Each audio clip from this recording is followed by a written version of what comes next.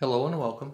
My name is Carrie and in my video today I'll go through the steps on installing this Kohler mirrored medicine cabinet. Unboxed there is the cabinet, mounting bar, side mirrors, shelves, and parts box. The parts box includes side brackets, mounting clips, side bracket screws, shelf clips, and mounting screws. According to the instructions, the cabinet needs 3 inches of clearance from any light fixture or faucet. The first step of the installation is to level and mark the position of the mounting bar. In my case, I want the mounting bar centered under the bathroom light fixture. With the pencil, I'll trace a line along the top of the mounting bar. According to the instructions, I need at least one mounting screw installed into a wall stud. Next I'll take my Franklin stud sensor and find where a wall stud is located on my line.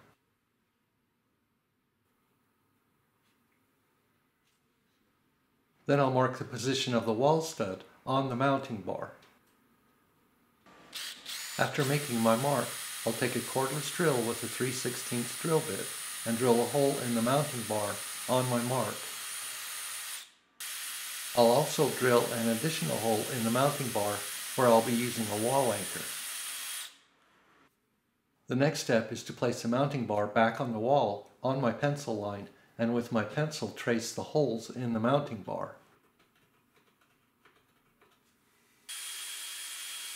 Then where the wall stud is located, I'll drill a pilot hole with an 8 inch drill bit. On the spot that takes a wall anchor, I'll take my drill with a quarter inch drill bit and drill a hole. In that spot, I'll tap in a wall anchor. The wall mount is now ready to install, so next I'll install a 2 inch mounting screw to secure the mount to the wall stud and a shorter screw to secure the mount to the wall anchor. I have limited area in the bathroom to install a cabinet, so I'm going to skip to step 11 in the instructions and install side brackets and the side mirrors before I place the cabinet on the mounting bar. Each side bracket takes one of these shorter screws, so while holding a bracket in place, I'll thread one of the screws from the inside of the cabinet clockwise into the bracket. I need to repeat this step for the other three side brackets. After the brackets are installed, I'll remove the backing tape, align a side mirror, then press down and hold the mirror in place for 20 seconds.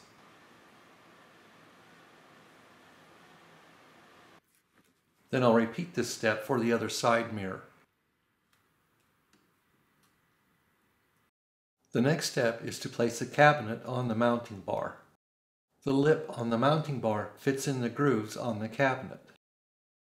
I couldn't get my camera in a good position to film the next step, so while holding the cabinet against the wall, the two mounting clips need to be placed in this position on each side of the cabinet and the hole in each clip needs to be traced out with a pencil. After the holes are traced, I'll take my drill and drill out two holes for the wall anchors. Then with a hammer, I'll tap in two wall anchors. Next, I'll reposition the cabinet on the mounting bar and install a screw through each clip that will secure the top part of the cabinet to the wall. If you can get someone to help hold the cabinet to the wall in this step, it makes installation less nerve-wracking because the cabinet keeps wanting to tip out as you're installing the clips. The last steps are to install the shelf clips, shelves, and removal of the protective film from the doors and cabinet. This is not an easy installation and I would plan on two to three hours of installation time. Also, if possible, get some help for step 7 of the installation, which is placing and holding the cabinet on the mounting bar while marking the position of the mounting clips. So that completes my video on how to install a Kohler mirrored medicine cabinet. Thanks for watching and have a good day.